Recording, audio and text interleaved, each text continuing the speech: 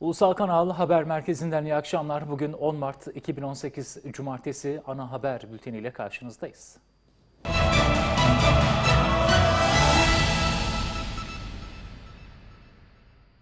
Afrin'e başlıyoruz. Türk Silahlı Kuvvetleri Afrin'i tam çembere almaya hazırlanıyor. Afrin'le ilgili öncelikli plan sivillerin tahliyesi. Bu arada bölgeye Amerika'nın bulunduğu Menbiç ve Rakka'dan da teröristlerin gönderildiği bilgisi var. Mehmetçik, çember planıyla hem sivillerin güvenliğini sağlayacak hem Amerika takviyesini boşa çıkaracak.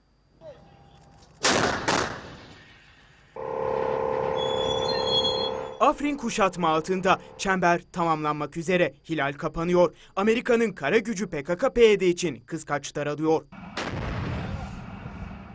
Bülbül, Raco, Şeran, Şeyhadit, son olarak da Cinderes. Afrin yolu açılmış durumda. Plansa bölgeyi çembere almak.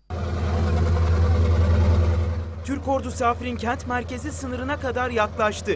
Ancak Zeytin Dalı Harekatı'nda gelinen aşamada hilal kapama işlemi gerçekleşiyor. Terör örgütünü hilal taktiğiyle çevreleyen Türk ordusu hilali kapamak için kararlı operasyonlarını sürdürüyor. Sivil hassasiyeti ise en üst seviyede. Yakın zamanda sivil tahliyesine başlanabileceği değerlendiriliyor. Amerika ise her geçen gün güç kaybeden kara gücü PKK-PYD'ye çözüm yolu arıyor. Bölgedeki kaynaklardan alınan bilgilere göre son olarak 2000 terörist Afrin'e doğru yöneldi. Teröristler Menbiç ve Rakka'dan yani Amerika'nın bulunduğu noktalardan gönderiliyor. Türk Silahlı Kuvvetleri Afrin'i tam kuşatma altına alıp bölgeyi izole edecek. Çember planıyla ABD'nin PKK-PYD'ye takviyesi boşa çıkarılacak. Diğer yandan Afrin merkezde sivillerin arasına saklanmaya çalışan teröristlerin de kaçacak yeri kalmayacak. Hilal'in iki ucunun birleşmesiyle operasyonların daha da hız kazanacağı aktarılıyor. Zeytin Dalı Harekatı'nda 50. güne girildi. Afrin kent merkezine bağlı 6 beldeden 5'i temizlendi. Operasyon kapsamında etkisiz hale getirilen terörist sayısı ise 3213'e yükseldi. Afrin operasyonunun 50. gününde Türk ordusunun ilerleyişi sürüyor. Teröristlerin etrafındaki kuşatma çemberi iyice daralıyor. Afrin'deki 6 beldeden 5'i teröristlerden arındırıldı. Türk askerinin ve ÖSO güçlerinin yeni hedefi son belde olan Mabatlı. Beldenin alınmasıyla Afrin kent merkezine giden yol tamamen açılacak. Öte yandan 7 köy daha teröristlerden kurtarıldı. Türk ordusu karadan Afrin ilçe merkezi sınırlarına dayanırken terör hedefleri de karadan ve havadan vurulmaya devam ediyor. Afrin ilçe merkezinin kuzeydoğusundaki Şavarikat El Caviz ve Melkiye köyleri kurtarıldı. Söz konusu yerleşimler Zeytin Dalı Harekatı'nda ilçe merkezinde ele geçirilen ilk köyler oldu. Harekatın başından bu yana 171 nokta teröristlerden temizlendi. Toplam 3213 terörist etkisiz hale getirildi. Afrin'in %60'ından fazlası teröristlerden arındırıldı.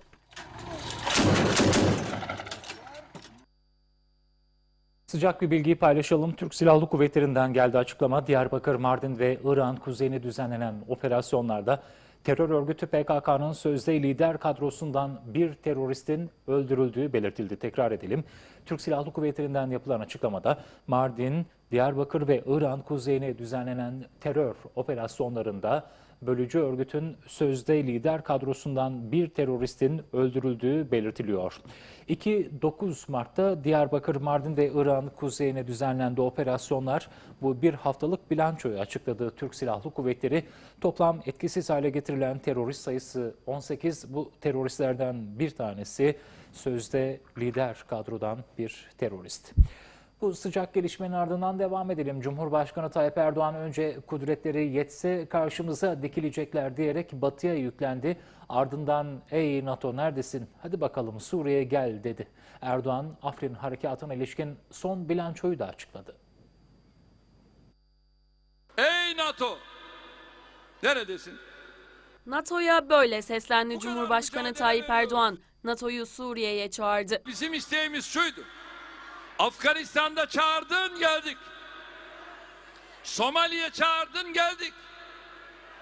Balkanlara çağırdın geldik. E şimdi de ben çağırıyorum. Hadi bakalım Suriye'ye gel. Niye gelmiyorsun? Türkiye'nin bir NATO üyesi olduğunu hatırlatan Erdoğan, üstü kapalı olarak başta Amerika olmak üzere ittifak içindeki ülkeleri eleştirdi. Aslında kudretleri yetse kalkacaklar onlar açık net karşımıza dikilecekler. Fakat Türkiye'nin dik durduğunu görünce buna cüret edemiyorlar. En tepelerindeki yöneticiler bizimle konuştuklarında aksini söylüyor olsa da diğer her seviyede alenen ve resmen terör örgütünün yanında yer alan devletler var. Partisinin kongresi için gittiği Mersin'de konuşan Cumhurbaşkanı Erdoğan, Zeytin Dalı Harekatı'na ilişkin de bilançoyu açıkladı. etkisiz hale getirilen terörist sayısı 3213 oldu. Afrin'e girdik giriyoruz. Yaklaşık 850 kilometre kare bizim kontrolümüz altında. Hedef o 2000 kilometre kareyi de kontrolümüz altına almak. Gerisi gün ola arman ola. Ona da devam edeceğiz. Bu arada Erdoğan'ın kongreye gelenleri Bozkurt işaretiyle selamlaması da dikkat çekti. Tek millet,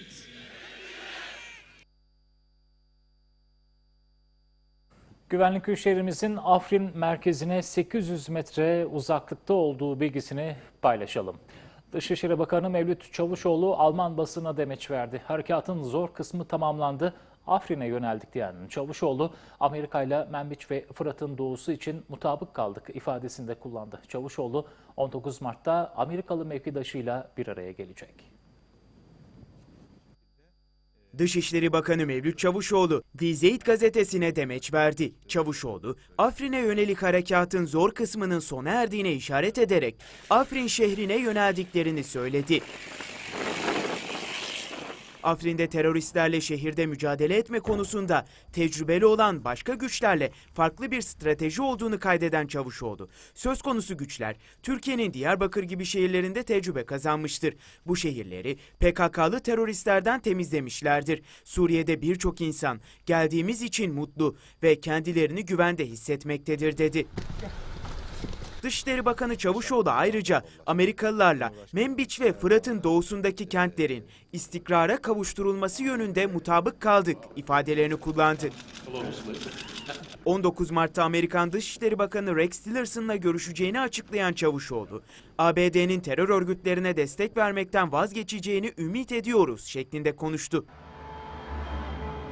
ABD'nin Türkiye'yi tehdit etmemesi gerektiğine dikkat çeken Çavuşoğlu, Amerika birçok ülkeye yönelik tehditte bulunarak bu veya şu şekilde doğal gaz alma diyor. Güçlü olmak, haklı olmak değildir dedi.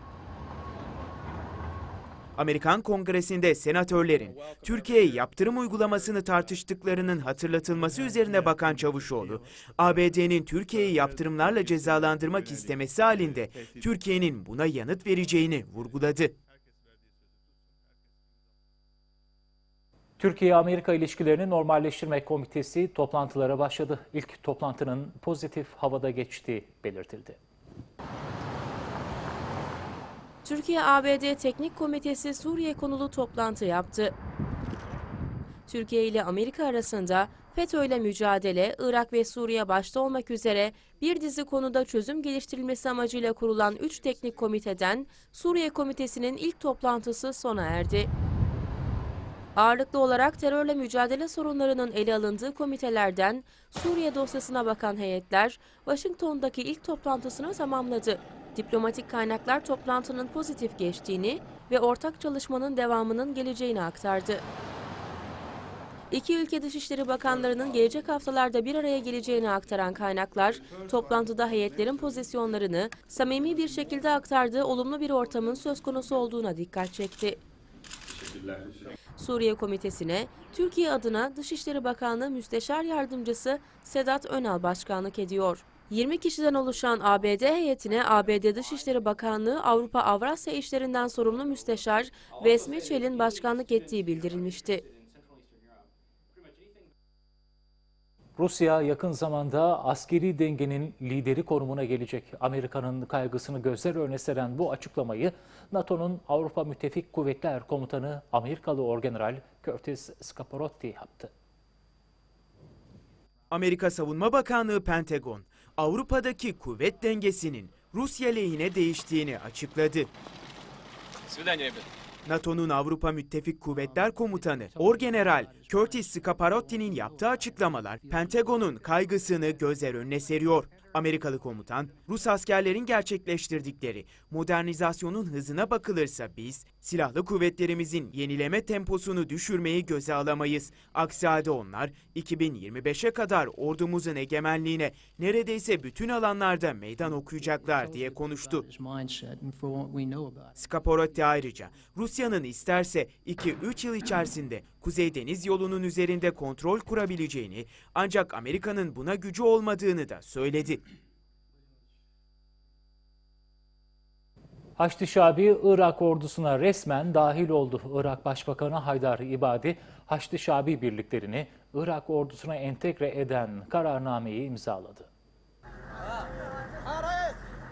Irak'ta IŞİD'e karşı kurulan Haçlı Şabi, Irak ordusuna dahil edildi.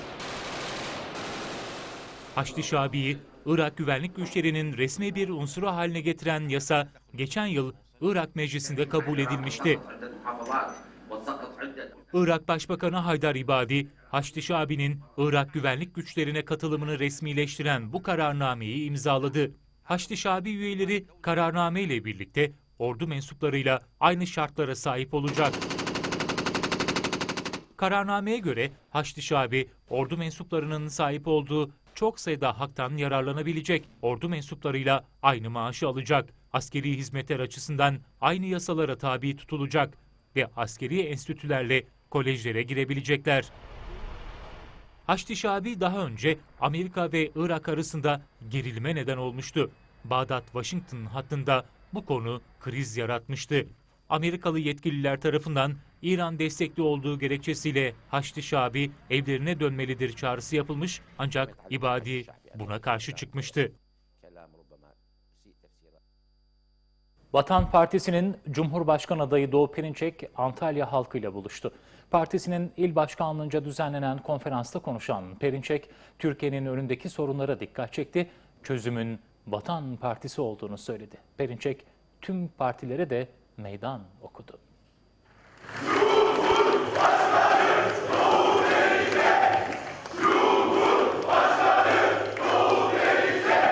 Türkiye'nin vatan savaşının kararlı, kesin başarısı için Türkiye'nin Vatan Partisi hükümetine ve Vatan Partisi'nin Cumhurbaşkanı'na ihtiyacı var. Vatan Partisi'nin Cumhurbaşkanı adayı Doğu Perinçek Antalya'da yurttaşlarla buluştu. Partisinin il başkanlığının düzenlediği konferansta konuşan Perinçek'e ilgi yoğun oldu. Üretenler iktidar olacak. Dilenenler iktidardan inecek, üretenler iktidar olacak. Dilenenlerin Cumhurbaşkanı bitecek, üretenlerin Cumhurbaşkanı gelecek. Vatan Partisi lideri Türkiye'nin en önemli meselesinin teröre karşı verilen vatan savaşını başarıya ulaştırmak ve üretim ekonomisini yaşama geçirmek olduğunu söyledi. Bunu da ancak Vatan Partisi çözer dedi. Biz Tayyip Erdoğan'ların rakibiyiz. Neden rakibiyiz? Onlar bu işi tutarlı, kararlı bir şekilde yürütemiyor. İki, daha önemlisi Türkiye'nin önüne gelen üretim ekonomisi konusunda bir programa ve yönelişe sahip değiller. Demek ki Türkiye'nin sorunlarını Tayyip Erdoğanlar değil, Vatan Partisi çözer. Onun için onların rakibiyiz. Türkiye'nin önündeki sorunları nasıl, hangi hükümetle, hangi cumhurbaşkanıyla çözebiliriz? Bu soruyu milletin önüne koyacaklarını belirten Perinçek, tüm partilere de meydan okudu. Şu anda Türkiye'de hiçbir cumhurbaşkanı adayı, hiçbir parti bu partinin karşısına başarılarıyla çıkamaz. Buradan meydan okuyorum. Meydan okuyorum. Hangi başarınız var? Tayyip Erdoğan'a soruyorum. Kılıçdaroğlu'na soruyorum. Devlet Bahçeli'ne soruyorum. Hükümet olma iddiasıyla bu seçimlere giriyoruz. İktidar olma iddiasıyla bu seçimlere giriyoruz. Ve göreceksiniz değerli arkadaşlar, Türkiye bu süreçten olağanüstü çözümlerle çıkacaktır. Konferansın ardından Perinçek yemek etkinliğinde yurttaşlarla bir araya geldi. 15 Temmuz Amerikancı darbe girişimi sırasında şehit olan Muhammed Oğuz Kılınç'ın babası Zeki Kılınç etkinlikte söz aldı. El birliğiyle biz Ömer Haris Demirleri, Muhammed Oğuz Kılıçları anne baba olarak yetiştirmeye devam edeceğiz. Bu millete inşallah kıyamete kadar hiçbir kimse diz çöktüremeyecek. Çünkü bizler şerefsiz bir şekilde vatan topraklarına basarak yaşamaktansa o toprağın altına girer, yatarım diyen ve evlatsız yaşarım ancak vatansız ve bayraksız asla diyen bir milletin ta kendisiyiz. Gecede öncü gençliğe yeni katılanlara rozetlerini de Perinçek taktı. Vatan Partisi Genel Başkan Yardımcısı Mehmet Bedri Gültekin, Mersin'de Cumhurbaşkanlığı seçimlerine ilişkin konuştu. Gültekin, partisinin programını 5 maddede açıkladı. bütün sistem partileri istisnasız milletin yarısına dayanarak diğer yarısının karşısında onların desteğini alarak kendi adayını Cumhurbaşkanı seçtirmek. Yani milleti bölerek. Vatan Partisi'nin Cumhurbaşkanlığı için imza kampanyası sürerken Vatan Partisi Genel Başkan Yardımcısı Mehmet Bedri Gültekin Mersin'de önemli açıklamalar yaptı. Bölücülükle sonuç almaya çalışıyorlar. Türkiye'nin temel ihtiyaçlarına terstir bu. Gültekin AKP-MHP ittifakına tepki gösterdi. AKP ve MHP'nin kurduğu Cumhur İttifakı'nın biricik amacı yüzde 50 artı 1'i nasıl bulacağız sorusudur. Karşıtları için de bu geçerli. Gazeteciler Cemiyeti'nde konuşan Gültekin, Cumhurbaşkanlığı seçimlerinde bütün milleti birleştirecek programı açıkladı. teröre karşı mücadele ve Türkiye'nin toprak bütünlüğü, ulusal güvenliğini savunmak. Borçlanma ekonomisi değil, üretim ekonomisine yönelmek. Programın üçüncü maddesi komşularımızla dostluk ve birlik. Cumhuriyet devrimimizin kazanımlarını savunmak. Yeni bir dünya kuruluyor. Avrasya, CHP'de genel merkezde parti içi muhalefet tüzük değişikliği kurultayında da karşı karşıya geldi. Genel başkanlık yarışını kaybeden Muharrem İnce cephesinin verdiği üst üste iki seçimi kazanamayan genel başkan görevi bırakmalı önerisi reddedildi. CHP'de parti içi muhalefetle genel merkez ayrışması devam ediyor. Son gelişme tüzük değişikliği kurultayında yaşandı. tek ses çıkaracak. Tekrarın gücüne inanan bir örgüt istiyorum. Önce tümü görüşüldü. Tümüyle ilgili kurultay delegelerimiz görüşlerini ifade ettiler. CHP'nin tüzük değişikliği için düzenlediği 19. olağanüstü kurultayının ikinci gün toplantısı Nazım Hikmet Kültür Merkezi'nde yapıldı. Ben istediğim televizyon kanalına çıkarım, istediğim gibi konuşurum. Konuşamazsın arkadaş. Bugüne kadar ses çıkarmadım. Bundan sonra izin almadan çıkıyorsa kusura bakmasın. Bu partide yeri yoktur. Kurultayın ikinci gününde genel başkanlık yarışını kaybeden Muharrem İnce cephesinin verdiği tüzük önerisi delegelerin oyuyla reddedildi. Bir grup milletvekilinin imzasıyla divana sunulan üst üste iki genel seçimi kazanamayan genel başkan bu görevi bırakmalı yönündeki önerge yaklaşık bin kişi içinden 100 oy alabildi. Nedeniyle Delegelerden genel merkezin hazırladığı bir tüzük maddesi de çizik yedi. Buna göre tüzük taslağında yer alan üye ve destekçi üye formülü delegeler tarafından reddedildi. İlgili maddede düzenli aidat ödeyen partili için üye, aidat ödemeyen içinse destekçi üye tanımı yapılıyordu. Üyelik ilişkilerini düzenleyen 6 madde revizyon edilmek üzere parti bünyesinde oluşturulan tüzük komisyonuna gönderildi. 40 yıl şeker fabrikalarında çalışan yüksek mühendis Erkan Çetinkaya, fabrikaların özelleştirme değil devlet tarafından geliştirilmesi gerektiğini söyledi. Fabrikaların tecrübesiz kadrolara bırakıldığını belirten Çetinkaya'ya göre bu şekilde özelleştirmenin önü açılmak istendi. Eğer siz bir müesseseyi za- zarar ettirmek isterseniz zarar yaptırabilirsiniz. Bu şeker fabrikaları kasıtlı olarak zarar ettirilmiştir. 40 yılını şeker fabrikalarına veren yüksek mühendis Erkan Çetinkaya bu fabrikalara ilişkin önemli uyarılar yaptı. Şeker fabrikaları vatandır, satılamaz.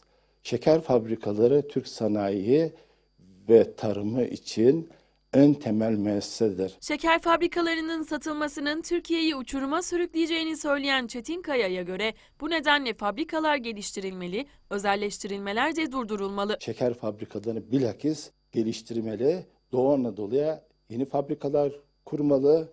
Güneydoğu Anadolu'ya yeni şeker fabrikaları kurmalı. Mevcut fabrikaların kapasitesini artırmalıyız. Son dönemlerde fabrikaların başında tecrübesiz kadroların görevlendirildiğini belirten Çetinkaya, böylece özelleştirilmenin önünün açılmak istendiğine işaret etti. Şeker fabrikaları verimsiz çalışıyor sözleri söylendi. Şeker fabrikaları verimsiz çalışmaz. Şeker fabrikaları en mükemmel şekilde çalışır. Kasıtlı olarak kötü yöneticiler yö- yönetime gelmektedir. Şu anda şeker şirketinin yönetimi şekeri bilmeyenlerin elindedir. Şeker fabrikalarında hiç çalışmamış insanların elindedir. Kapatılan askeri liselerin yeniden açılması için başlatılan nöbet mücadelesinde 76. hafta geride kaldı. İstanbul Beşiktaş Meydanı'nda tutulan nöbete Cumhuriyetçi hekimler de katıldı. Askeri liseleri bir an önce açın dediler. 76 hafta boyunca mücadele verdiler. Her yerinde afişler astık 5 sene. Türk ordusunun bel kemiği olan askeri okulların yeniden açılması için başlatılan mücadelede 76. nöbet tutuldu. Buraları açmamak için ellerinden geleni yapıyorlar. Biz de buraları açtırmak için elimizden geleni yapacağız. Vatan Partisi Merkez Karar Kurulu üyesi Hıdır Okka sert konuştu. Bu okulların Türkiye Cumhuriyeti Devleti'nin, Türkiye Cumhuriyeti ordusunun ve Cumhuriyet'in kaleleridir. Buraları zapt edemezsiniz, yıkamazsınız, kapalı tutamazsınız.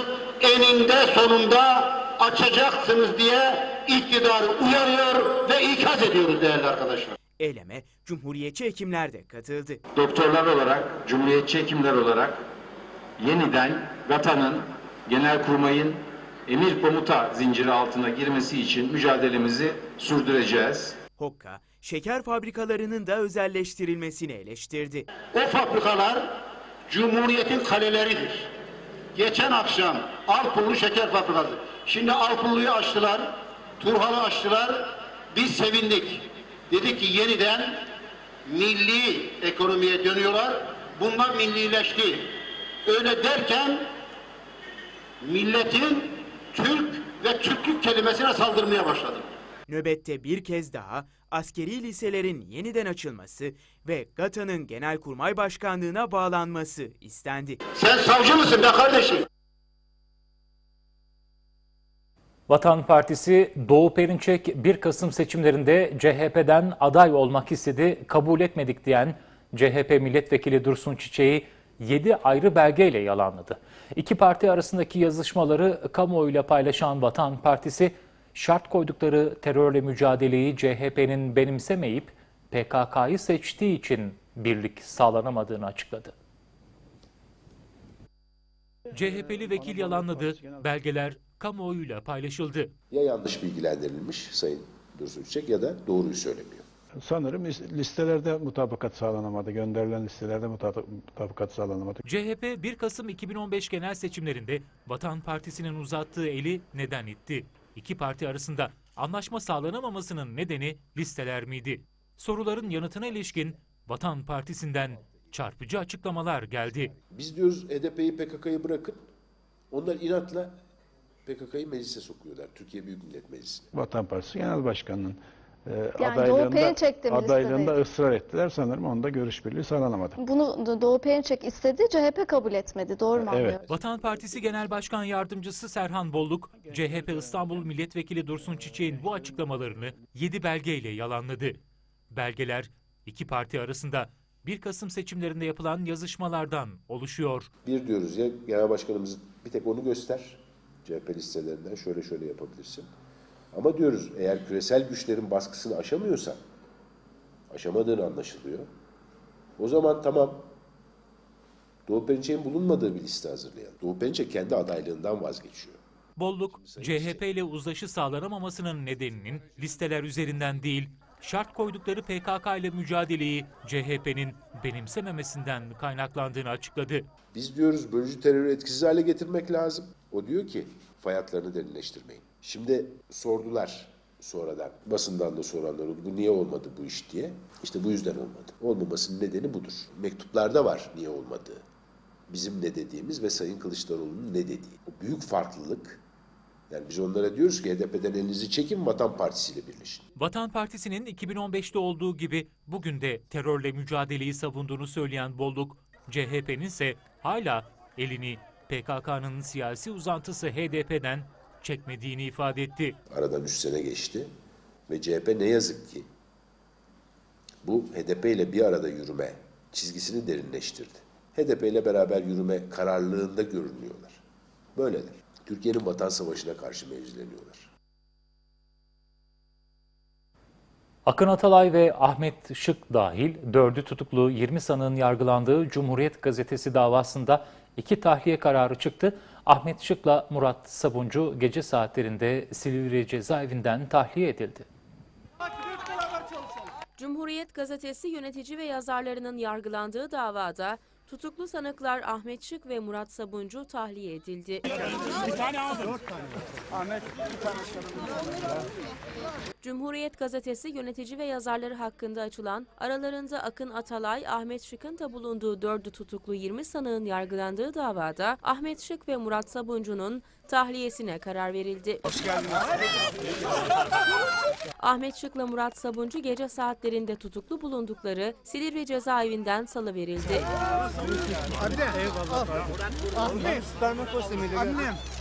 Şık ve Sabuncu'ya aileleri, arkadaşları ve meslektaşlarından oluşan bir grup karşıladı.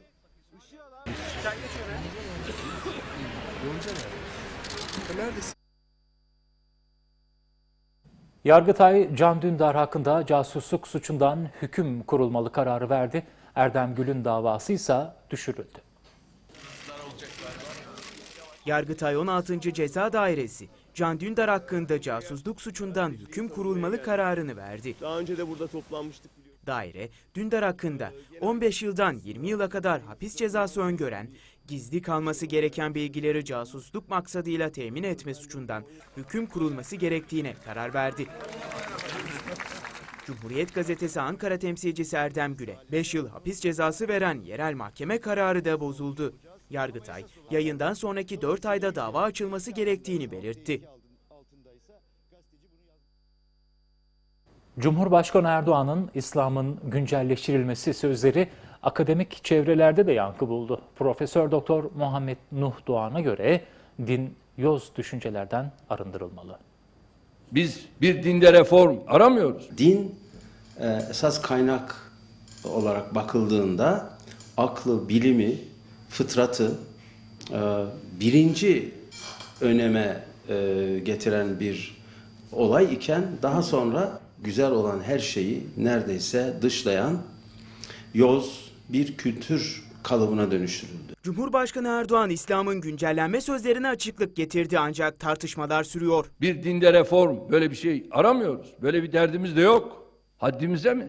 Asla. Önüne gelen genç, yaşlı bunlarla ilgili ileri geri bu tür şeyleri konuşmalarının İslam'a getirdiği lekeyi görmemezlikten gelemez. Biz bunu yıllardır söylüyoruz ve o yüzden de bir takım çevreler tarafından büyük haksızlıklara, büyük ithamlara, iftiralara uğradık. Ulusal kanala konuşan Profesör Doktor Muhammed Nur Doğan, din yozlaştırılıyor dedi. Aslında Kur'an e, cahiliyenin, cahili sistemlerin tıkadığı aklın ve vicdanın damarlarını açan bir serumdur. Bizim aklımızın, vicdanımızın damarları tıkanmıştır. Bu yoz kültürler aklımızın damarlarını, vicdanımızın, kalbimizin damarlarını tıkadı. Erdoğan'ın sözlerini destekleyen Doğan, insanların kendi aklıyla düşünmediğini söyledi. Bu olayı ben çok önemsiyorum ama mutlaka bunun ısrarla sürdürülmesi ve neticeyi alacak şekilde yoz İslam anlayışındaki e, tecdit, yenilenme çok ciddi bir şekilde izlenilmelidir. Doğan, din evrensel birliği sağlıyor ama çıkan hurafelerle bu bozulabilir dedi. Esasen Kur'an'da din denilen şey kozmik birlik demek olan tevhidden başka bir şey değildir. Doğan, İslam'ın modern bir din olduğunu vurguladı. Ve İslam bütün insanlığı kardeş yapmaya gelir. İşte bu manada bundan daha modern, daha ileri ne olabilir ki? Yunanistan'da iki Alman gazeteci gözaltına alındı. Türkiye sınırına yakın askeri yasak bölgede yakalanan biri kadın, iki gazeteci adli makamlara sevk edildi. Yunanistan'ın Türkiye sınırına yakın askeri bölgede iki Alman gazeteci gözaltına alındı. Katimerini gazetesinin haberine göre iki kişi sınırdaki Dimetoka bölgesinde yakalandı. Alman kanalı ARD için çalıştıkları belirtilen biri kadın iki gazeteci savcılığa götürüldü. Alman gazeteciler için Atina'daki Almanya Büyükelçiliği'nin harekete geçtiği belirtildi. Yaşları 31 ve 33 olan gazeteciler ifadelerinde Almanya'dan Türkiye'ye yasa dışı yollarla dönüş yapan Türklere ilişkin haber üzerinde çalıştıklarını söyledi. Amerikan emperyalizmine karşı Batı Asya'nın kadınları Ankara'da buluştu. Cumhuriyet Kadınları Derneği öncülüğünde Batı Asya Kadın Buluşması adıyla düzenlenen programda Türkiye, İran, Filistin, Kuzey Kıbrıs Türk Cumhuriyeti ve Azerbaycanlı kadınlar bir araya geldi. Etkinlikte konuşan kadınlar Amerika ve İsrail'e karşı birlik ve mücadele çağrısı yaptı.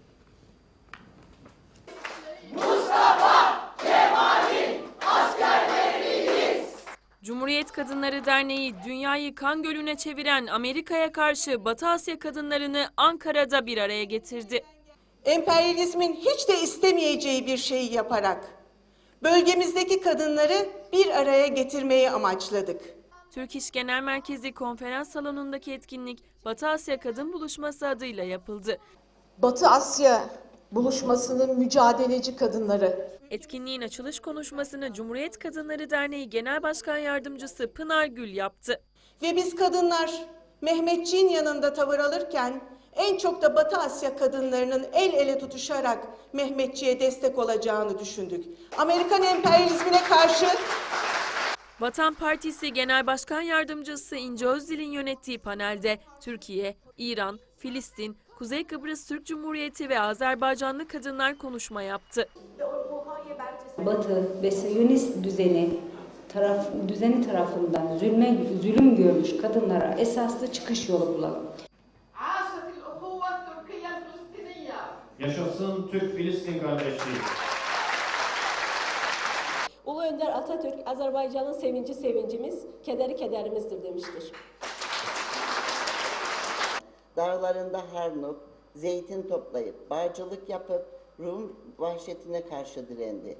Konuşmaların ardından büyük buluşmanın ortak kararla alınan sonuç bildirgesi de açıklandı. buradan Amerika'ya, Sayın Trump'a, İsrail'e sesleniyoruz. İşgal zindanlarında esir olan kahraman Filistin halkının kadın ve çocukların haklarını korumak için hep birlikte mücadele edeceğiz. Sana karşı mücadele edeceğiz. Ve esaretlerinin derhal sonlandırılmasını istiyoruz. İstanbul'dayız sevgili seyirciler. Yağış az olmasına rağmen barajlardaki doluluk oranı İstanbul'da %90'ı aştı. Bundan sonra yağmur yağmasa dahi barajlarda İstanbul'a 10 ay yetecek su rezervi bulunuyor. İstanbul barajları bu yılın en yüksek doluluk seviyesine ulaştı. Kış aylarında yağışlar az olmasına rağmen barajlardaki doluluk oranı %90'ı aştı. Türkiye'de kurak bir kış geçirilmesine rağmen İstanbul barajlarındaki doluluk oranı %90.25 olarak ölçüldü. Bu rakamın bu yılın en yüksek seviyesi olarak kayıtlara geçtiği bildirildi. Kazandere %100, Istrancalar %100, Papuçdere %92.89, Ömerli %100, Sazlıdere %43.65, Büyükçekmece %87.30, Ali Beyköy %96.61, Terkos %99.80, Elmalı %57.97, Darlık %94.28. Son ölçümlere göre barajlarda 783 milyon 95 metreküp su birikti. Aydın Valiliği kent genelinde bir ay boyunca yapılacak her türlü açık hava etkinliğini yasakladı. Kapalı mekanlardaki etkinliklerse yakından takip edilecek. Aydın Valiliği konser ve anma törenleri de dahil olmak üzere her türlü açık hava etkinliğini yasakladı. Hatta bu anonsu valiliğin önünden yapmak istedik, olmadı. Aydın'da her türlü açık hava etkinliği yasaklandı. 30 gün boyunca konser verilemeyecek, stand açılamayacak, bildiri dağıtılamayacak, basın açıklaması, anma toplantısı gibi hiçbir toplu eylem yapılamayacak. Valilik kararında kapalı mekan toplantıları da izne bağlandı. Tüm toplantılar izlenecek, gözetim altında tutulacak.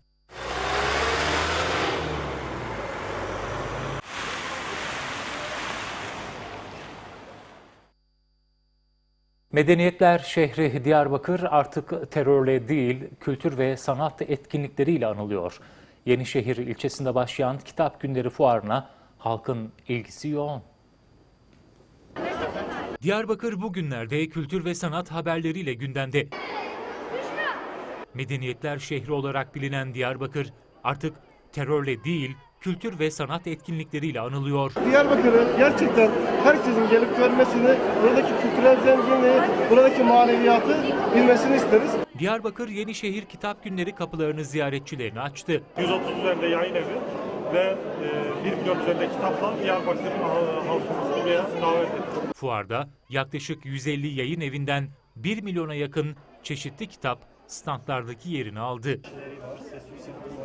Kitap fuarına gidenlere Afrin Harekatı'ndaki Mehmetçiğe selam göndermek için Türk bayrağı hediye edildi.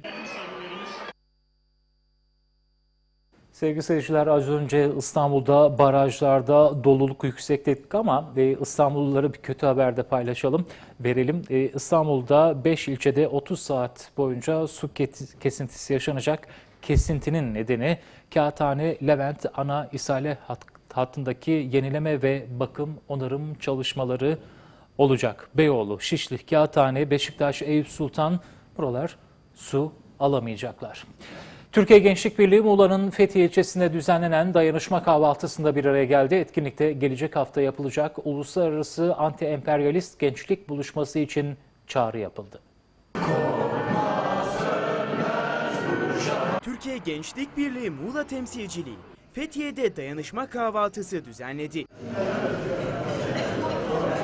Muğlalıların yoğun katılım gösterdiği kahvaltıya TGB Genel Başkanı Cem Dikmen, Vatan Partisi Genel Başkan Yardımcısı Şule Perinçek ve bölgedeki derneklerin temsilcileri de katıldı. Açılış konuşmasını yapan İl Başkanı Doğan Özkan, cephede çarpışan Mehmetçi'ye selam gönderdi. Mehmetçik nasıl ki Afrin'de cephedeyse bizler de Türkiye Gençlik Birliği olarak o cephenin bir parçasıyız ve üniversitelerde, liselerde o cepheyi hep birlikte büyütüyoruz. Etkinlikte konuşan Cem Dikmen, TGB'li gençleri anlattı. Türk gençliğine yatırım yapmak demek, Türkiye Cumhuriyeti'ne, geleceğine yatırım yapmak demek. Yaşanan süreci anlatan Şule Perinçek, herkesi mücadeleye çağırdı. Onun için hepinizi, hepinizi Atatürk gibi olmaya davet ediyorum. Etkinliğin sonunda çekilişte adı okunanlara hediyeleri verildi. 3.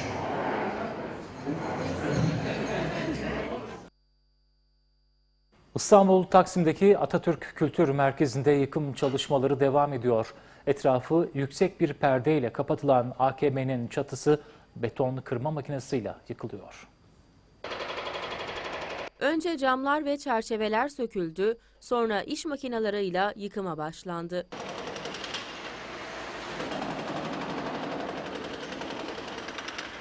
İstanbul Taksim Atatürk Kültür Merkezi'ndeki yıkım çalışmaları sürüyor.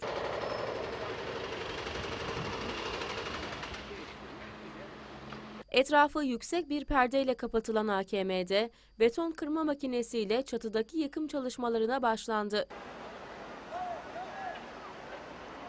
Eski AKM'nin bitmesinin ardından yeni Atatürk Kültür Merkezi'nin inşaatına başlanacak.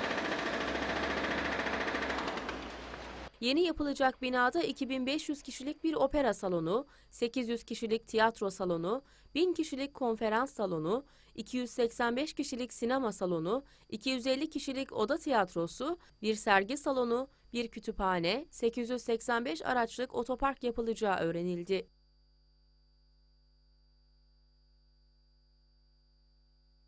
Duayen gazeteci Lütfi Akdoğan'ın eşi Neriman Akdoğan son yolculuğuna uğurlandı. 58 yıllık hayat arkadaşına son bakış. Usta gazeteci yazar ve eski Konya milletvekili Lütfü Akdoğan'ın 58 yıllık yol arkadaşı Neriman Akdoğan son yolculuğuna uğurlandı. Akdoğan için Sarıyer Yeniköy Merkez Camii'nde tören düzenlendi. Cenaze törenine ailesi ve yakınlarının yanı sıra Vatan Partisi, Ulusal Kanal ve Görev Vakfı yöneticileri de katıldı.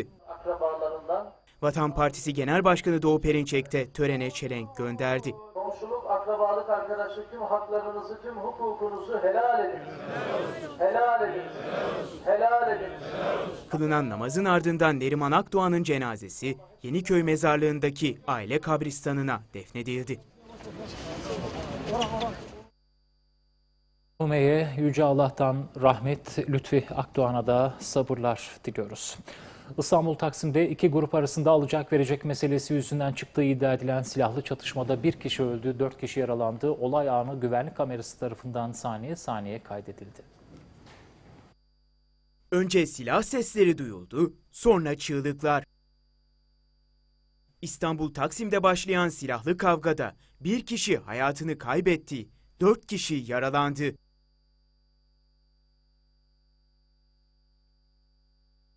Bir otelin önünde başlayan kavga nedeninin ise iki grup arasındaki alacak verecek yüzünden çıktığı iddia edildi. Kavga anları ise bir iş yerinin güvenlik kamerası tarafından saniye saniye kaydedildi. Kavgada otel sahibinin oğlu Tarık Durucan hayatını kaybederken iki gruptan Engin D, Yavuz K, Ramazan K, İdris Mozart ve Beethoven'ın eserleri İzmir'de seslendirildi. Yaşar Üniversitesi'nin 17 kurul 17. kuruluş yıl dönümünde klasik müzik ziyafeti yaşandı.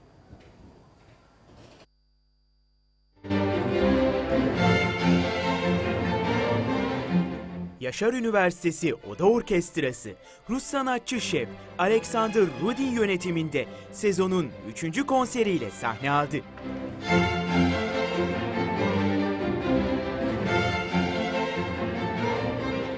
Yaşar Üniversitesi'nin 17. kuruluş yıl dönümü etkinliğinde Türkiye'den ve dünyadan ünlü solistlerle klasik müziğin seçkin eserleri seslendirildi.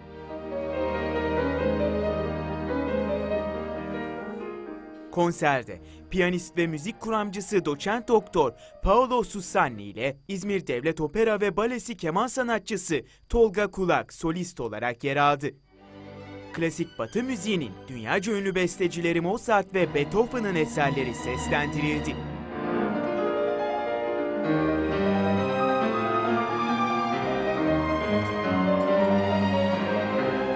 Susani ve Kulak performanslarıyla İzmirli sanatseverlere unutulmaz bir gece yaşattı.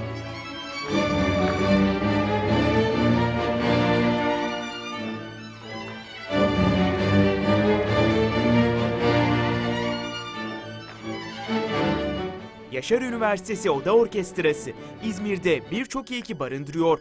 Vakıf üniversitelerinin ilk oda orkestrası olma özelliğini taşıyor. Konser, festival ve resitallerde Yaşar Üniversitesi Oda Orkestrası ile İdil Biret, Gülsin Onay, Kerem Görsev, Alexander Rudin gibi dünyaca isimler solist olarak sahne aldı.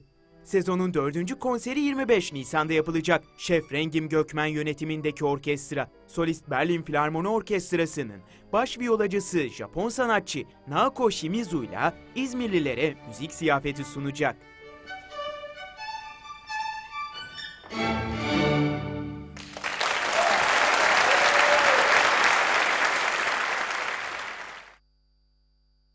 Ana haber bültenimizin sonuna geldik. Güzel bir cumartesi akşamı, güzel bir pazar günü geçirmeniz dileğiyle. İyi akşamlar, mutlu yarınlar.